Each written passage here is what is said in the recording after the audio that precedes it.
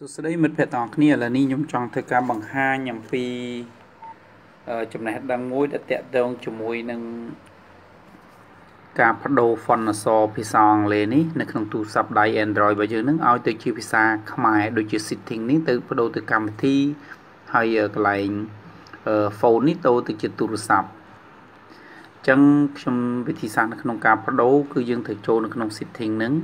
បាទ អាហ្នឹងគឺជាដំបូងគឺយើងត្រូវ add on font Google ចូលនៅក្នុងនឹងផងដែរហើយបន្ទាប់មកយើងចូលនៅក្នុង setting ហ្នឹងយើងស្វែងរកពាក្យថា language and input អឺបន្តមកទៀតយើងស្វែងរកពាក្យថា language នៅខាងលើនេះបាទនេះគឺ default របស់វាគឺជាទូទៅគឺវា select យកពាក្យថា English United States ហ្នឹង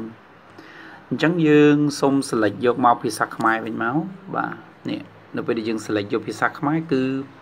អ្វីសពបែបយ៉ាងនៅក្នុងនេះគឺវាបានផ្លាស់ប្ដូរទៅជាភាសាខ្មែរទាំងអស់ឥឡូវនេះខ្ញុំសូមធ្វើការចុចមកថយក្រោយវិញបាទចុចមកថយក្រោយបាទនេះឃើញនេះគឺដូចជា icon កន្លែង message នេះគឺដូរទៅជាសារតំណាក់តំណងនឹងកម្មវិធីខ្ញុំចុចចូលមកនៅក្នុងហ្នឹងវាមានការផ្លាស់ប្ដូរបន្ថែមទៀតដូចជាកន្លែងនេះខ្ញុំបានថាទូរស័ព្ទនេះការកំណត់បាទបាទមានផ្សេងទៀតដូចជានេះ email នេះវិចិត្រសាលបាទនេះអឺ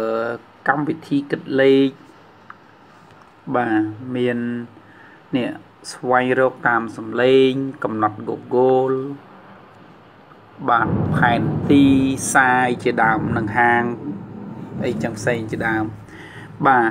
អឺនេះគឺជាអត្ថប្រយោជន៍មួយសម្រាប់យើងសម្រាប់អ្នកប្រើចង់ប្រើភាសាខ្មែរបាទ ហើយបើយើងចង់ដូរចុចទៅការដោះដូរមកភាសាអង់គ្លេសវិញគឺយើងចូលមកក្នុង setting នឹងដដែលហ្នឹងបាទឬក៏ពេលខ្លះយើងអត់ចាប់អារម្មណ៍ថានឹងកន្លែង setting នេះគឺយើងឃើញសញ្ញាដូចកងចាក់នេះអញ្ចឹងយើង select លើវាមកហើយយើងស្វែងរកមកត្រឡប់ថយក្រោយវិញយើងកន្លែងហ្នឹងវាបដូរទៅជាពាក្យថាភាសានិងការវាយបញ្ចូលអញ្ចឹង select លើហ្នឹងមកហើយនេះបាទភាសាខាងលើនេះ select មកដូរមក English នេះវិញបាទហ្នឹងគឺឃើញដូរមកអង់ អង់គ្លេសវិញណានេះគឺជាចំណេះដឹងមួយ តែបើនៅក្នុងគណៈដែលបងប្អូនទាំងអស់គ្នាបានដូរទៅហើយវាអត់ដើរកន្លែងវាអាចចូលមកពីបញ្ហាត្រង់នេះផងដែរនេះបាទ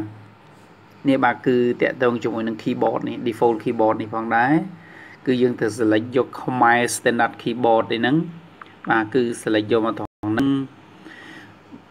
បាទ សូមអរគុណចំពោះការបង្ហាញអំពីរបៀបនៅក្នុងការផ្លាស់ប្ដូរពី font អង់គ្លេសទៅជាភាសាខ្មែរនៅក្នុងទូរស័ព្ទដៃ Samsung